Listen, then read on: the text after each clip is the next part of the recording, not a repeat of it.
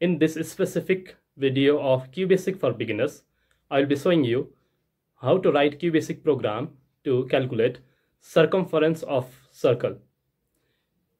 If you are new, watch my previous videos so you can understand basic programs and how to write the programs in QBasic in very simple steps. So in this video, we are going to solve circumference of circle. So you have to know the formula for that. Just remember that what is the formula for circumference of circle.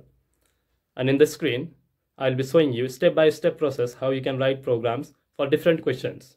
If you have any questions, any program, please comment below. I'll try to make the video on that. Let's go to the screen and let's see how to solve these questions. Screen now. rem rem is the keyword used to write the comment in the QBasic program. So I have written program name. WAP to calculate circumference of circle. So what is the formula for this? The formula for circumference of circle is 2 pi r. You can verify that. Google it, circumference of circle, and you can get this formula 2 pi r. So okay, formula is 2 pi r. So we know the requirement for the program. Requirement is what? In the formula there is 2 and pi value pi that is constant 3.14 pi value is constant or 22 by 7 and the next is r that means radius. So what is the requirement? Pi and radius. So i'll write here cls to clear the data of the output screen. And then i will write here input enter radius. Enter radius and then i'll store that in r. Then after that what we need is pi we can't write here pi symbol. So I will use here pi pi equals to 22 by 7 but pi value is constant. It's never changed. So for that we have to use here const const before variable pi. Const pi equals to 22 by 7 const is used to declare a constant variable which have fixed value. So we can't change the value of this 22 by 7 I have already made the video on this about area of circle. You can watch that video also.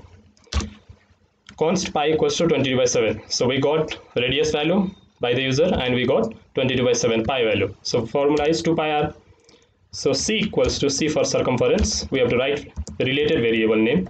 c equals to 2 multiply by pi multiply by r 2 pi r.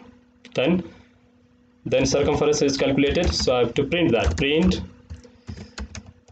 circumference of circle is then I have stored that in C so I will write here C.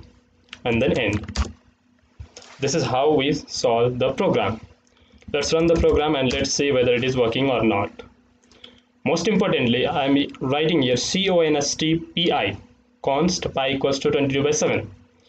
If I try to change this value, pi value, so we can't change that because this is constant. I'll show you after this program will execute. Okay, enter radius. We have written here enter radius in message input statement. So I have to type here radius value 5. Now circumference of circle is 31.42 yeah this one. Because this is calculated and printed this message. Okay.